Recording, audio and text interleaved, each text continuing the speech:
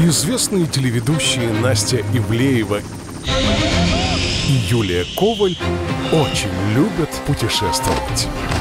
Каждый уикенд они отправляются в один из самых интересных городов на планете. По правилам программы, одна из них должна прожить два дня на 100 долларов, вторая может тратить неограниченные средства, которые хранятся на безлимитной карте. Чтобы решить, кто будет жить как миллионер, а кто учиться выживанию, Настя и Юля бросают монету. И каждый раз все решает. Орел, решка!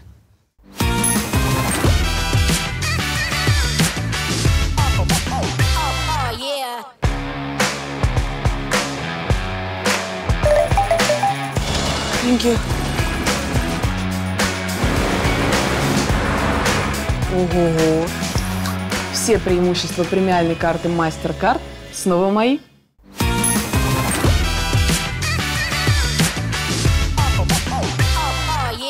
Чикита мамбита, чикита мамасита, чикита мамбита, чикита мамасита. Всем привет, дорогие друзья! Это «Орел и решка. Девчачий сезон». Юлька Коваль и... Настюшка Ивлеева, и мы в Африке.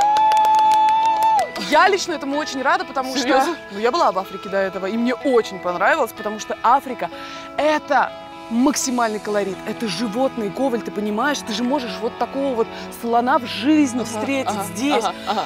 Ты можешь, что, ты можешь вулкан увидеть, наверное, Вулканы, да? а Зебры. природа какая, просто невероятная. Да, букашки, мурашки, Мурашки, все, как я букашки, люблю, вот эти ящерицы, да. да. Короче, давай не будем терять времени и подбросим монетку. Давай, решка. Орел. Погнали.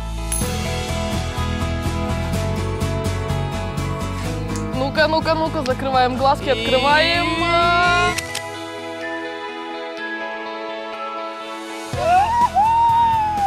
Кажется, кто-то поедет на сафари, и это мужчина. Это я тебя бью сейчас, если бы я могла тебя бить. Все, пока. Пока-пока. Почему опять? Я по-бедному, все как в жизни, это невозможно. Танзания – страна на востоке Африки. Это земля бескрайних саванн. Кипящих вулканов, древних племен. и свободных животных.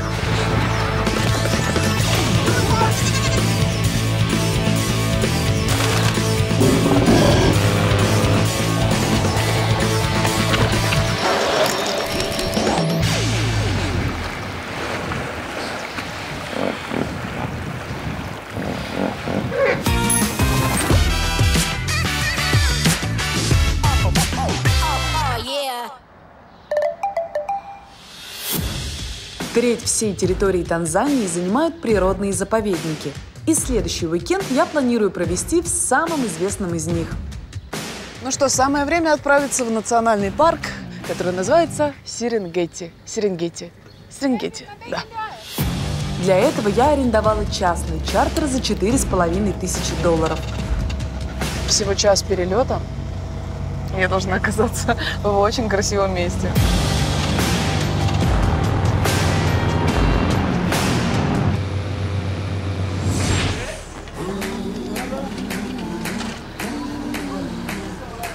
Пятьдесят, шестьдесят, семьдесят, восемьдесят, девяносто, двести, двести тысяч, двести десять, двести двадцать, двести тридцать тысяч шиллингов.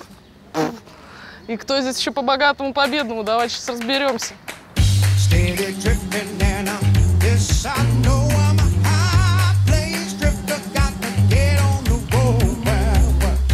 Слушайте, ну я девочка амбициозная и планирую устроить себе африканское приключение не хуже, чем у любого богача.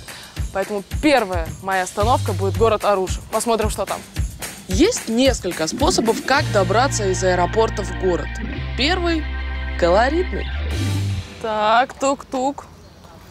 В прямом и переносном смысле причем. Никого нет. Стоимость 10 долларов. Anybody here? Кто драйвер?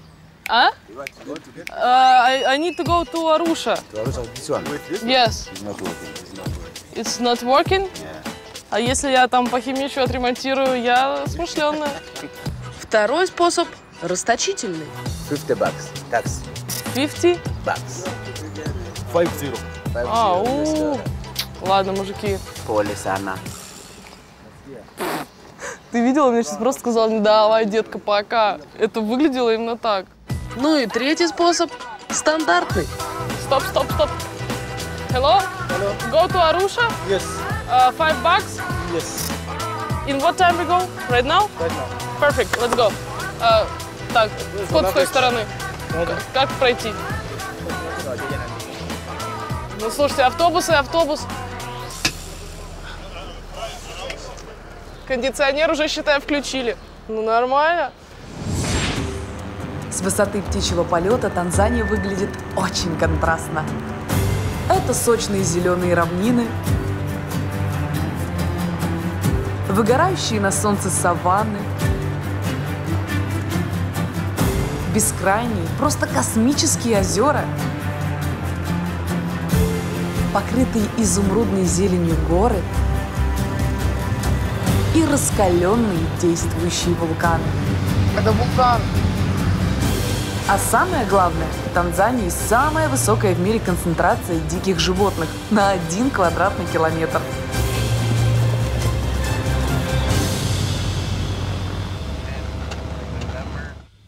Я вам так скажу, друзья, такое, наверное, только в Африке возможно, потому что когда наш самолет приземлялся, прямо здесь, на взлетной полосе, если это можно так назвать, просто разбегались в стороны а эти, как их, не косули, а эти... Антилопы, да. Реально их было 10 штук, и они просто вот так... Блин, круто.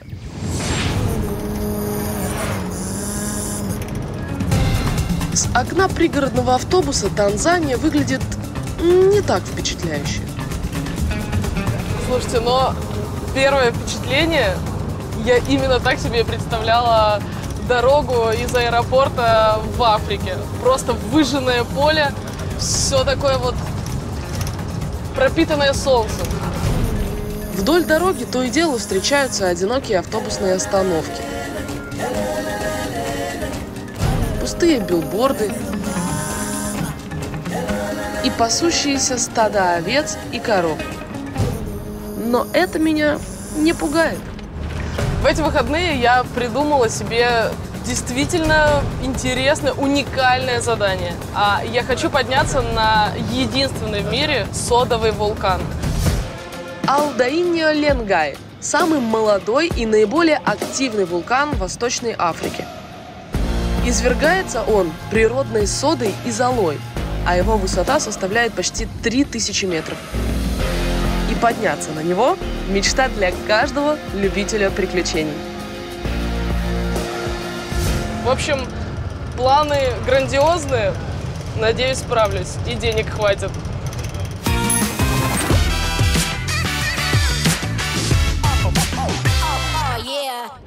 А пока Юлька только строит планы, я уже добралась до своего отеля. Ну что, добро пожаловать в мой шикарнейший отель. Какая красота. Four Seasons Safari Lodge Серенгети – самый роскошный и самый аутентичный отель во всей Танзании. Он отчасти напоминает музей. И здесь все вот с такими африканскими мотивами, что невольно ходишь и наслаждаешься вот этим вот колоритом. О, боже, какой бар! Господи, я вообще в Африке? Тяньки. Этот отель находится посреди национального парка Серенгети. И чтобы не тревожить дикую природу, практически все здания здесь построены на возвышающихся над землей платформах, которые соединены между собой деревянными мостиками. Блин, на самом деле я в шоке. Просто если ты летишь, допустим, на самолете, то ты просто не увидишь этот отель. Он настолько слит с природой. Вот эти все мостики, знаете, как хамелеон, все просто под цвет. Я не выхожу из состояния шока. Это все настолько гармонично, настолько едино. Это потрясающе. Но и это еще не главная фишка отеля. Поскольку в Африке животных подкармливать категорически запрещено, ну, я думаю, это логично, а отель построили вокруг водопоя. То есть все животные приходят попить водички, и таким образом туристы наслаждаются вот, естественной с флорой и фауной. да? Флорой и фауной? Флорой и фауной. Ой-ой-ой-ой.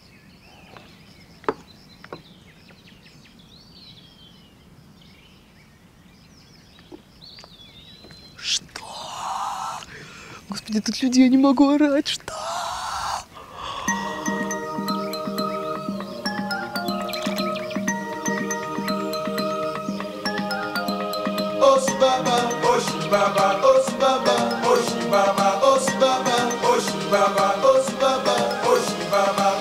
Слишком красиво, чтобы быть правдой. Они просто как по заказу пришли, такой славной кучкой, и красуются во все стороны. Это просто невероятно.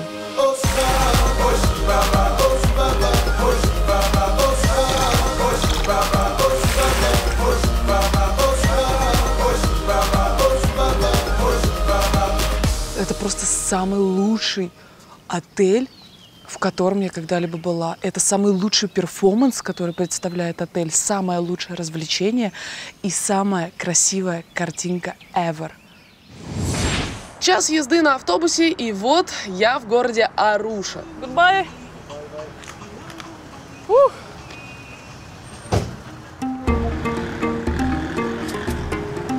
Аруша – средний по крупности африканский город. Здесь живут около полумиллиона человек.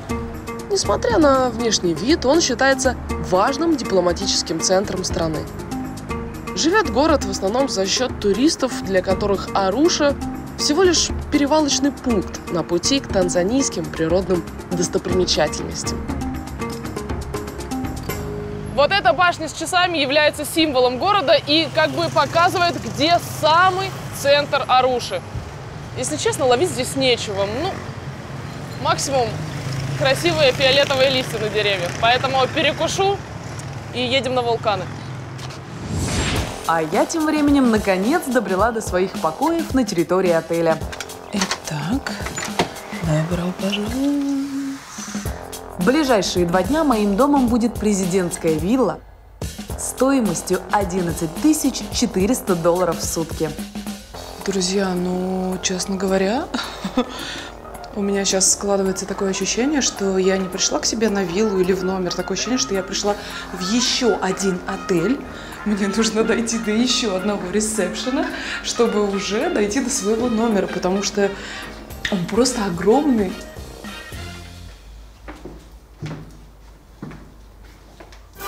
Площадь виллы 242 квадратных метра. И чего здесь только нет. Вот гостиная в стиле фильмов про охотников за сокровищами, с винтажной мебелью, шкурами животных и антикварными статуэтками. Обалдеть, реально все такое вот тупо африканское. Вот эти коричневые кожаные диваны, а, ковры. Вот уютный кабинет. Я хочу останавливаться на каждой детали. Это все действительно напоминает мне фильмы, которые я смотрела в детстве, когда действительно отправлялись какие-то экспедиции. Эм, Сидели вот люди в этих шляпах соломенных, писали, записывали все эти конспекты, что они видели, как они знакомились с дикой природой. Это все, конечно, потрясающе. И здесь кажется, как будто вот немножко время замерло, и, и все вот оно, вот оно вот так вот. А вот одна из трех ванных комнат. Невероятно красиво, еще выход на террасу. Можно принять душ на улице. А еще набили сразу три спальни. Две гостевые и моя, хозяйская. Ребята, ваша королева, королева Африки, Настюшка опасности, Кей Настюшка Африка будет просыпаться вот здесь.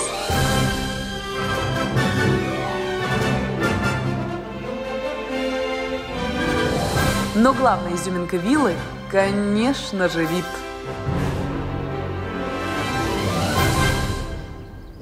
Я выхожу на балкон своего номера, я не знаю, виллы, и вот она, дикая природа, дикая Африка. Дикие животные, которые сами по себе, они ни в клетках, ни в зоопарках. Короче, официально заявляю, за 4 года, ну или может быть за три с половиной года путешествий вместе с Орлом и Решкой, Танзания – это Африка. этот номер, в общем, сейчас все, что со мной происходит, это полный шок. И пока что это самое невероятное, красивейшее и лучшее, что со мной случалось в этом прекрасном шоу про путешествия. Лучшая вилла, конечно же. Почему бы и нет, если есть такая возможность? Оп, пару секунд и все готово. С премиальной картой MasterCard открываются любые возможности. И с ней ты без проблем получаешь все самое лучшее.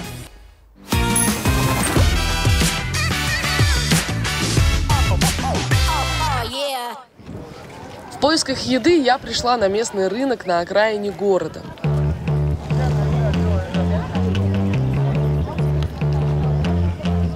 Пойдемте купим что-нибудь. Или хотя бы попробуем. Чем на этом рынке только не торгуют. Веревками из бараньей шерсти, всевозможными тканями, животными и даже солнечными батареями. Сколько стоит? How much? How much dollars? Dola mia itu. 100 долларов? Iya. Вот это 100 долларов! Iya apa? И кто здесь хоть раз купил здесь батарею? Спросите, пожалуйста. И тут же рядом продают тапки из автомобильных покрышек. У меня есть идея. А что, если мы с вами купим одни такие тапочки для моей соведущей? Настюха там сейчас за стиль топит, красиво одеваться стала.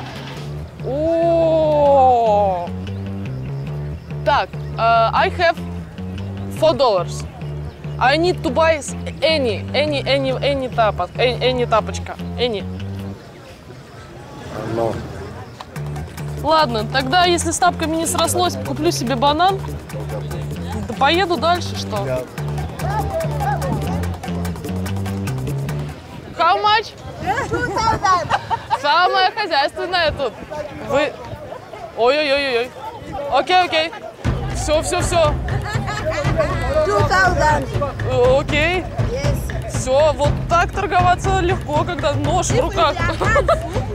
If it's all 2000. Окей, half. Yes. Half, half, half. Фу, вот это женщина, вот это характер. Пока доставала деньги, так бананчики раз, раз, меньше и меньше, меньше, меньше. Окей. Ну хватит нам с тобой, Олеж. Окей, так.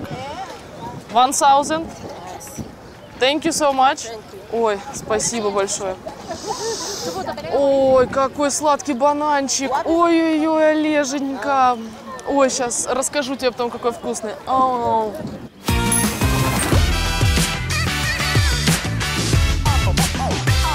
yeah. Ну что, дорогие мои хорошие, самое время отправиться на сафари. Jumbo. Джамбо. Кстати, как видите, платье я выбрала подходящее. Ну что, сафари, сафари, сафари.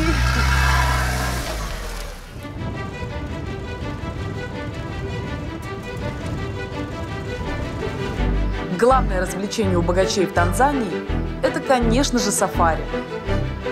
И лучшего места для этого, чем парк Серенгети, не найти. Ведь его экосистема старейшая в мире.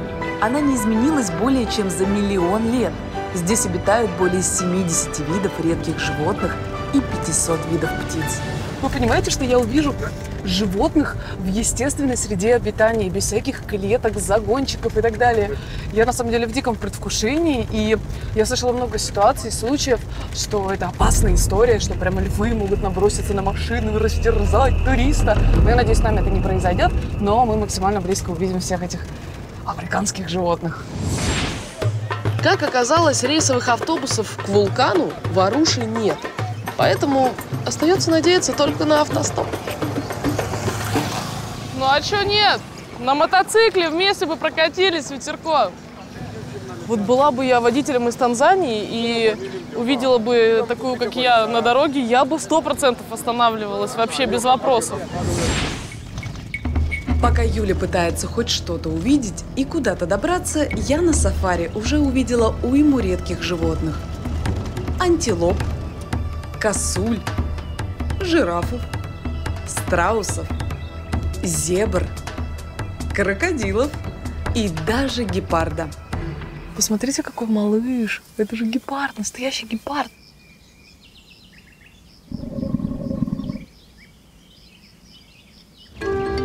Но мечта любого участника сафари – увидеть знаменитую большую африканскую пятерку. Это пять самых крупных и опасных жителей саванны. Носорог, слон, буйвол, лев и леопард. И я планирую собрать полную коллекцию.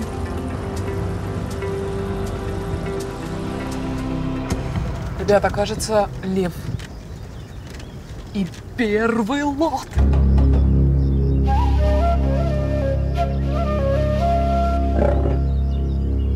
Дикие львы.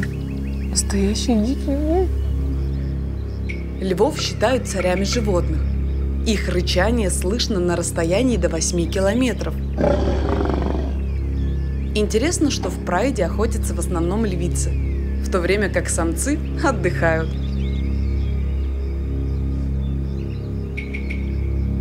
И вообще львы – самые ленивые африканские хищники. На сон у них уходит до 20 часов в день. Мне определенно нравится начало моего сафари, потому что первое животное в пятерке топ-5 мы повстречали, хотя это ленивые, а- обожранные, сытые, э, спящие львы, но это же львы в Африке, поэтому погнали дальше. Стоило проехать всего пару километров, как снова остановка. Ну что, номер два в моей пятерочке – это слоны.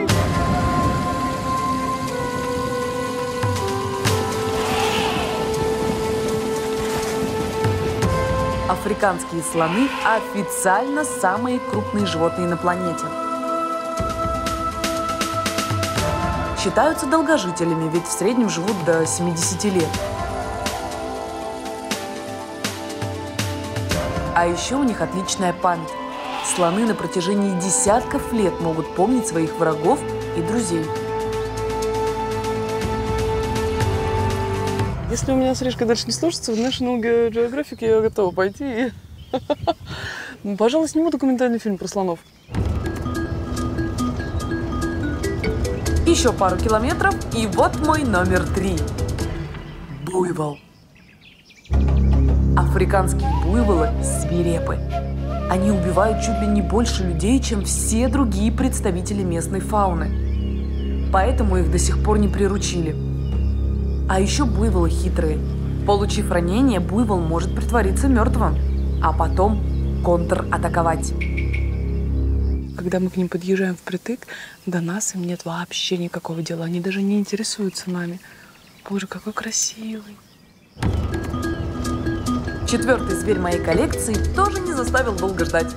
Леопард Ура, я нашла животное, которое похоже на мое платье.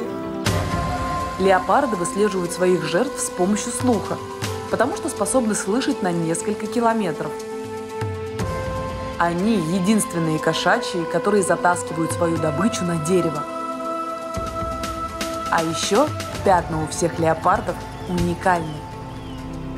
Четыре. Осталось пятого увидеть носорога. Потратив уйму времени на попытки поймать попутку, я решила понемногу направляться в сторону вулкана на своих двоих. Может, вернемся обратно в аэропорт? У меня уже попа накачалась. Ой. Но когда я уже была готова сдаться, мне повезло. Тихо, тихо, тихо, тихо, тихо, тихо, тихо, тихо. Это наш шанс. Я не знаю, я готова перекрыть дорогу. Пожалуйста.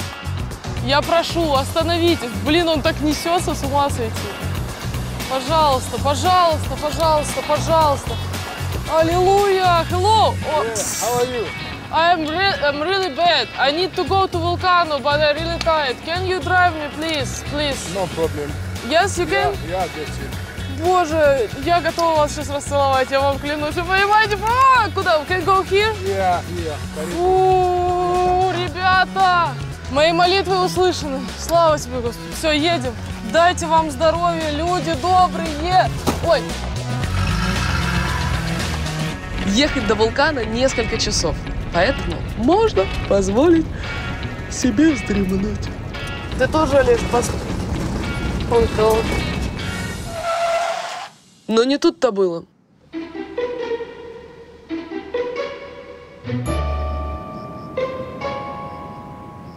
Мы сейчас находимся на блокпосту, который принадлежит местным масаям. Правительство никак не борется с тем, что происходит, а происходит следующее. Ребята организовались, поставили себе здесь такой домишку, живут и срубают деньги с туристов, которые сюда приезжают. Типа налог на путешествие по этим землям. Что делать? За красоту приходится платить. Вопрос сколько? За проезд дальше мне пришлось отдать 35 долларов.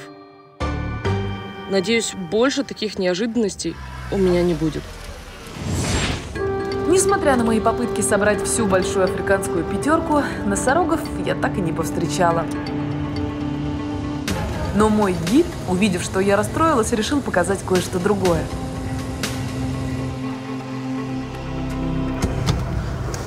Ну что, дорогие мои хорошие, я приехала посмотреть на самое опасное животное Африки. Погнали. Хоть бегемот не относится к большой африканской пятерке, он считается одним из самых крупных и агрессивных животных Африки.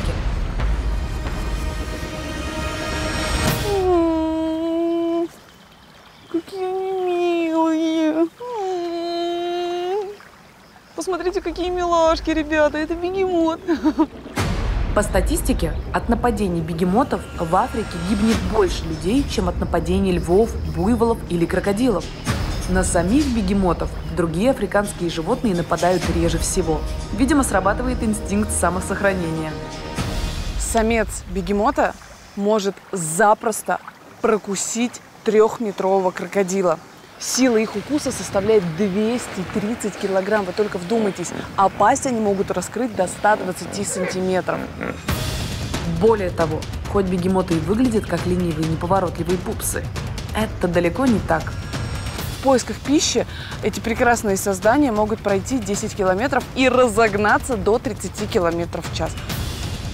Сейчас меня спасает лишь то, что я приехала в разгар светового дня. Это очень-очень-очень жаркое время для них, и в основном, видите, они все время проводят в воде. Ну, они за мной очень внимательно наблюдают. Конечно, если бы сейчас был вечер, то бежали бы мы отсюда с голой жопкой впереди планеты всей.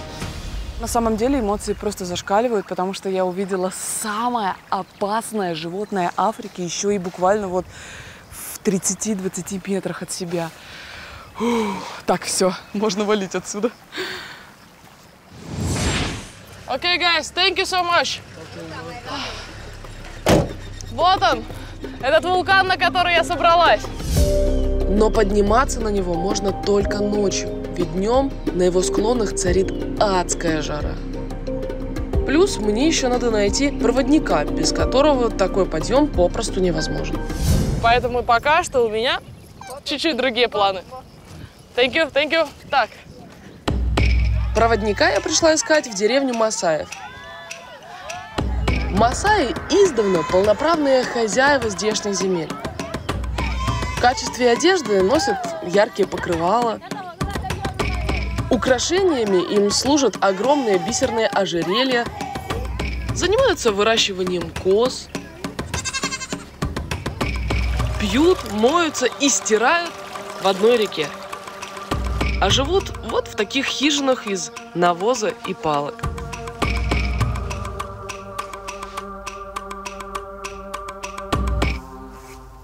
В общем, мы с вами в типичном масайском доме. Вот, у молодой девушки на спине маленький ребенок, который тоже живет здесь. Это плита, судя по всему, три камня, где разжигают костер, кровать. И пахнет, честно сказать, какашками. Ох, душещипательные, конечно, здесь такие можно истории увидеть, но ладно, давайте к делу. Мне нужен масай, который проведет меня на вершину вулкана, у подножия которого живет эта масайская деревня. Осталось найти этого классного парня, и можно планировать вечер. И это не то, о чем вы подумали. Водить туристов на вулкан – один из основных доходов Масаев. Поэтому гида я нашла быстро. Все, дело в шляпе, ребята, я договорилась. Вечером идем на вулкан с настоящим Масаем.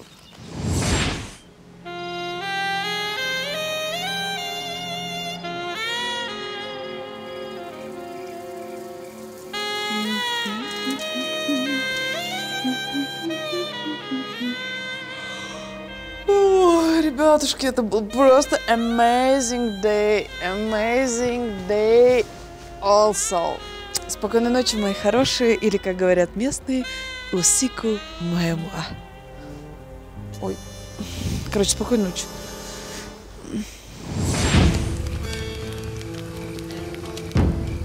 Ребята, сейчас у нас с вами состоится очень серьезный разговор.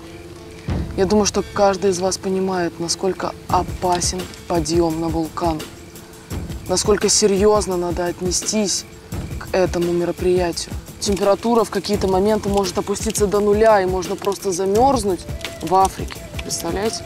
В общем, если вы решитесь на подобное приключение, вы должны быть хорошо подготовлены. Хорошо, что у меня есть все с собой. Трекинговая обувь, шлем, теплая кофта, куртка, шапка, трекинговые палки, перчатки. И самое главное. А, это... э, Это на другой случай. Это в следующий раз нам пригодится. Все, это обратно положим. Ладно, шучу. Аренда экипировки и услуги гида обошлись мне в 45 долларов. Ну все, вроде бы все основное при мне, поэтому быстренько переодеваемся и в путь в дорожку в славную. Ну что, палки взяли, шлемы взяли, хорошее настроение взяли. Погнали. Энтузиазм пока есть, нормально. Первое впечатление – очень темно. Путь нам с гидом Масаем едва освещают фонарики на шлемах. Ну, поначалу это похоже на пробирание через огород после дискотеки к бабушке на дачу. Но точно не на восхождение на вулкан. Все в зелени, в сухой. Вообще ничего не понятно. Где мы, что мы? Но то, что мы уже на вулкане, не заметить невозможно. Слышите? Все, начался вулкан. Звук такой глухой, как будто бы там прям пустота под камнем. По самому вулкану идти труднее в разы. Во-первых, чем выше, тем сильнее ветер несет сверху пыль и сажу. Кошмар. Ой-ой. Просто идешь по пыльной дороге и дышишь пылью. Все. Все впечатления от подъема. Во-вторых, очень крутой угол подъема. Ты, Юля, как хочешь сама, да, так и залезай. Ладно.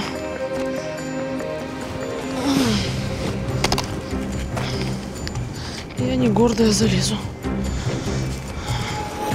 И в-третьих, с каждым метром все холоднее, а сил все меньше. Я очень замерзла. Господи, дай сил.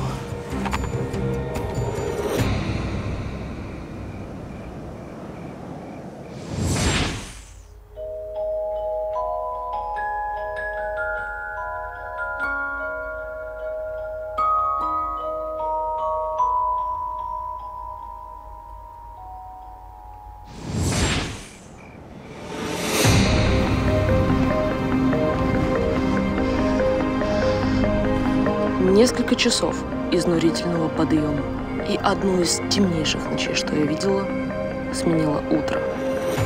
Самое страшное утро в моей жизни. Ведь с рассветом стало понятно, что я лишь на середине пути. Сверху отвесная скала, с которой то и дело летит пыль и откалываются камни. А снизу полуторакилометровая пропасть.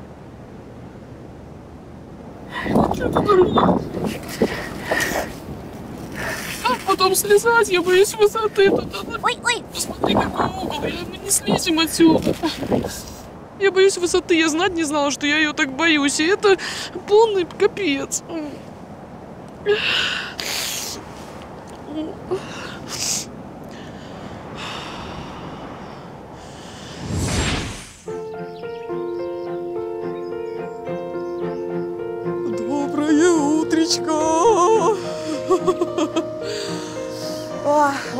Должно начинаться утро в Африке, дорогие мои хорошие. В парке Серенгети помимо обычного сафари можно отправиться еще и на воздушное.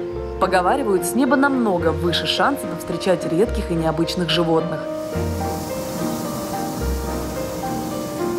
Да и сам по себе полет на воздушном шаре в Африке – это необычайно красивое зрелище.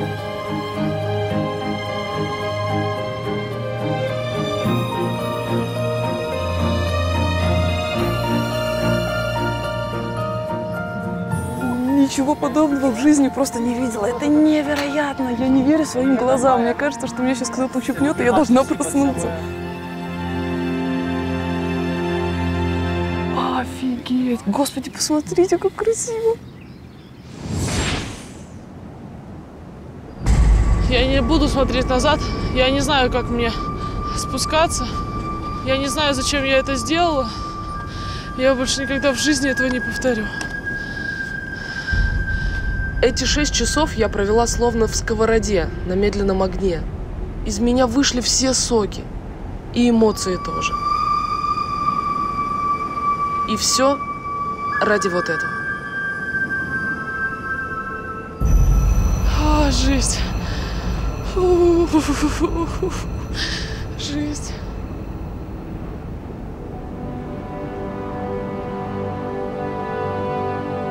Олдейня Лингай с языка масаев переводится как «Божья гора».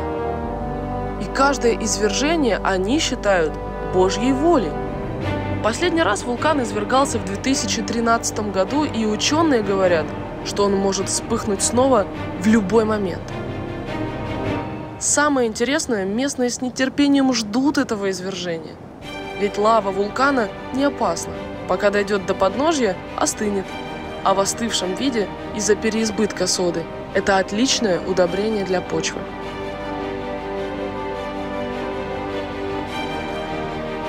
Это очень красиво, но я думаю, что этого не стоило, честно. Не спать, переться сюда автостопами. Опять не спать, всю ночь сюда идти. И потом вот так вот просто стрессануть. Это жесть. Фишка полета на воздушном шаре над саванной в том, что вы не взлетаете супер высоко, но при этом все животные у вас как на ладони, и кажется, что до них можно просто дотронуться. Ты пролетаешь над деревьями и можешь заглянуть в гнездо птицы. Что?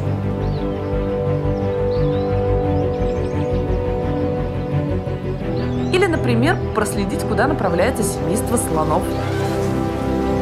Посмотрите, какие они красивые, они такие упитанные, здоровые, такие дурачки, такие жопастые морды. Они еще оборачиваются, смотрят, типа, что происходит?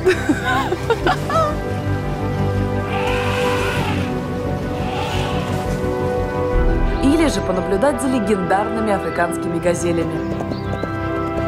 А что они, оказывается, так высоко прыгают, я просто офигела. Я знала, что большие газели высоко прыгают, а маленькие вот эти шкетики, они просто такую фольгу там сделали.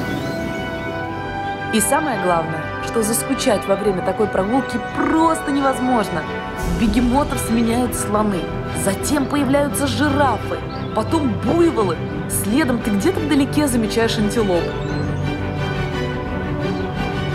Короче, я на самом деле ожидала, что мы увидим каких-то животных. Опять-таки же думаю, что мы будем сверху всматриваться в маленькие бегущие точки. Но, друзья, мы, наверное, просто всех животных, которые есть в Африке, мы их увидели. Ну, не считая львов. Я даже маленького этого леопарда видела. Саш, честно.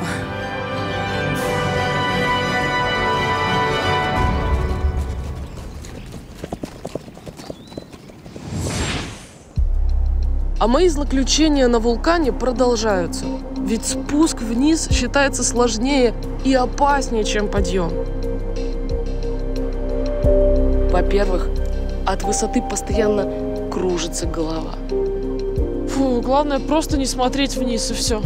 Это единственное, что может спасти. Во-вторых, ты хочешь идти быстро, чтобы все это как можно скорее закончилось.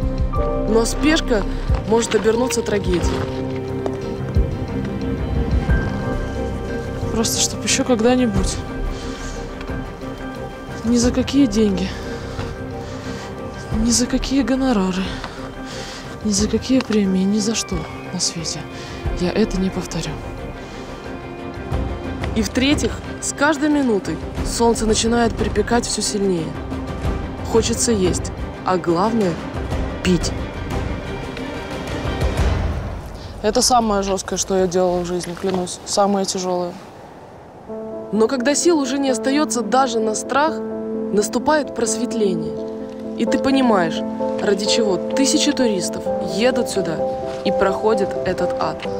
Слушайте, ну вот эта долина, она по красоте не уступает ничем, не знаю, там, Большому каньону, Гранд каньону, да, или каким-то другим местам, у которых просто энерги- энергетика невероятная.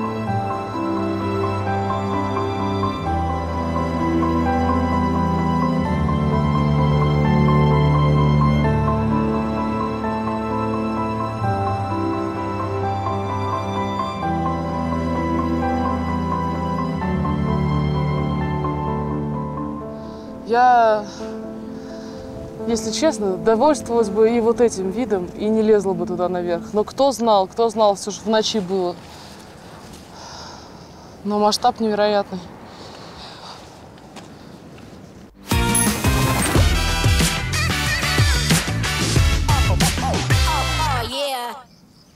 Дорогие дамы и господа, поистине уникальный и всеми любимый момент. Прячу для вас хрустящие, манящие 100 баксов. Но в этот раз клад будет спрятан необычным образом, потому что я не хочу, чтобы вас сожрали прекрасные, великолепные животные на сафари. И из машины вам вряд ли разрешат выходить. За сотни баксов в Танзании отправляйтесь в национальный парк Серенгетти. Там езжайте в отель Four Seasons Safari Lounge Серенгетти и сразу же идите на ресепшн. Чтобы забрать заветный клад от Настюшки королевы Африки, назовите пароль. И если будете первыми, бутылка со 100 долларами ваша. Итак, внимание, пароль. Анастейша Ивлеева Dangerous. Best of the best all the world and Орел and Решка. И бутылочка ваша. Удачи!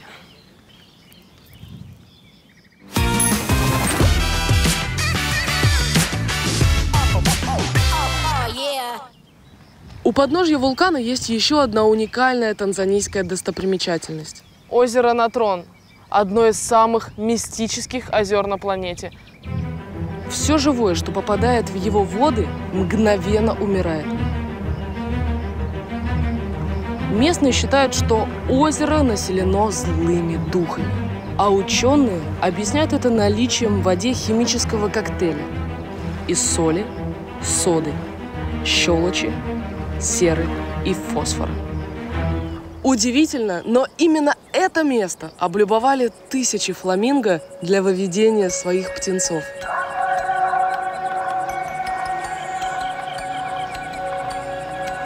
А все потому, что островки посреди смертельного озера – это единственное место, где их потомство может быть в безопасности от посягательств африканских хищников.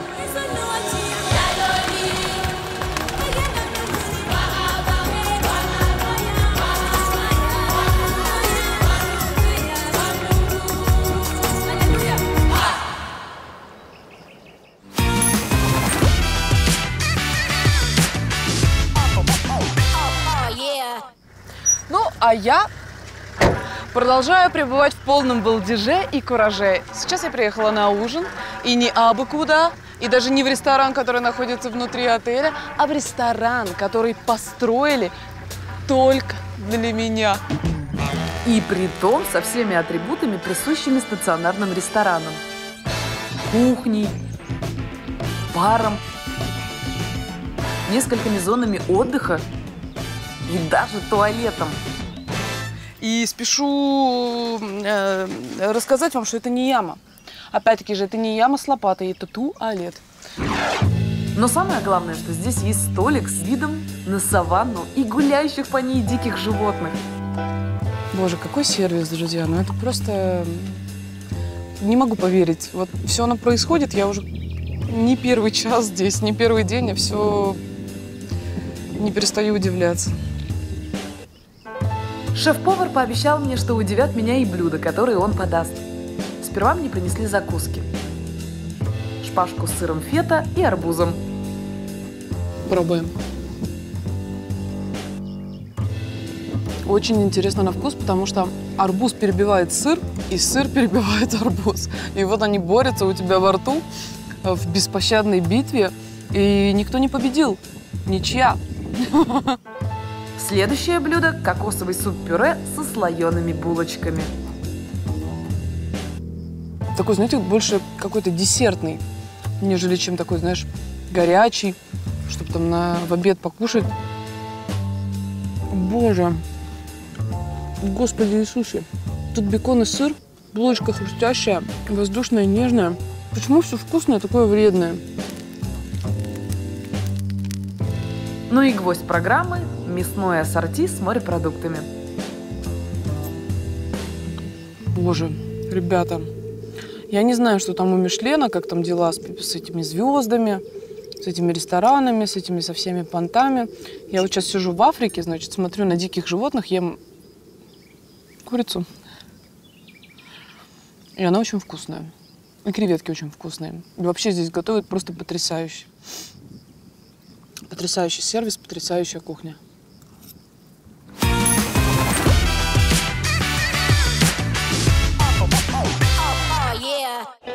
Танзания впечатляет и ошарашивает. Она умиляет и пугает. Ой-ой-ой, все, все, все. От ее красоты можно заплакать. Причем как в прямом, так и в переносном смысле. Боже, какой бар. Господи, я вообще в Африке? Давай, детка, пока. И первый лот. Дело в шляпе, ребята, я договорилась. Ура, я нашла. Аллилуйя! Это невероятно. Это самое невероятное, красивейшее и лучшее, что со мной случалось в этом прекрасном шоу про путешествия.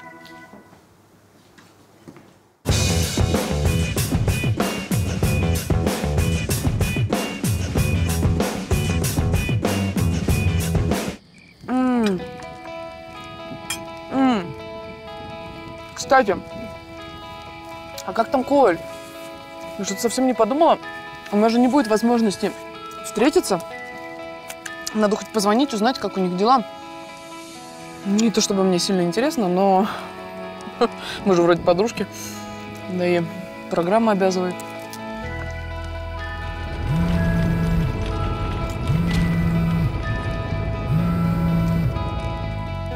Не берет трубку. М, как же я переживаю. А вдруг что-то случилось? Вдруг что-то пошло не так? Может, ей нужна помощь? Может, ей нужны деньги? Может, ей нужен друг? Может, ей нужна я? Ах, узнаю, когда посмотрю программу. Ну а с вами, друзья, увидимся в следующем городе.